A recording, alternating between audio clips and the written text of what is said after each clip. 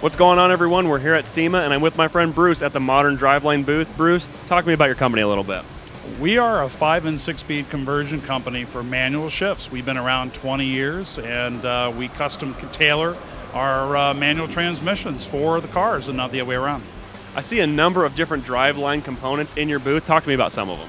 Yeah, we got uh, Tremec Transmissions, which is a cornerstone of our company. We got you know five-speed uh, T5, TKO, and of course the T56 Magnum, uh, the big daddy that uh, a lot of guys are using today.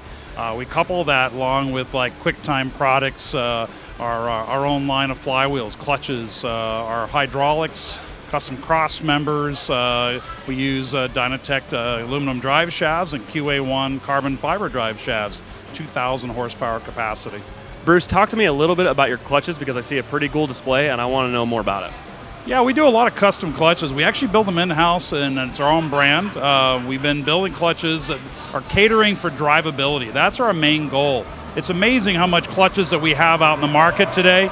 The idea really is, is that we want to make sure that a person really chooses a clutch because it's a key component in driving uh, and making sure that it lasts and that we give value to our customers. So we custom build and, like I say, test them in house. We want to make sure we're giving you quality, and every one of our units is tested before it leaves our shop.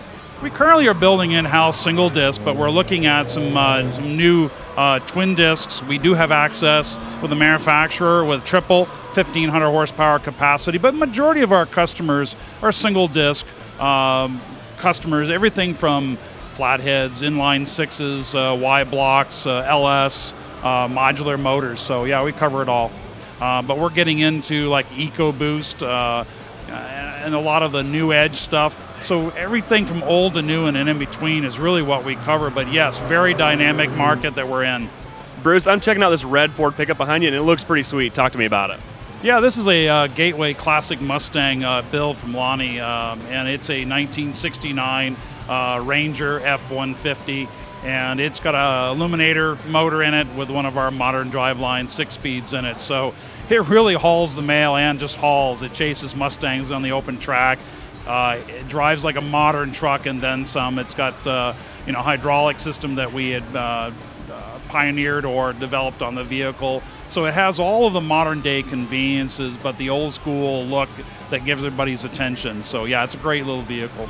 Bruce, talk to me about your T56 Magnum because I'm honestly a stick shift guy, and this thing was pretty awesome. Yeah, Tremec stepped up their game in about 2008, took their T56, which is well known in the industry, and came into it with the Magnum series, which is basically uh, built on the TR6060 platform that's enjoyed in your Viper, your GT500. So this unit here has a lot of uh, versatility, strength, uh, different gear ratios that are available for it, and it can be adapted to just about anything with a QuickTime bell housing.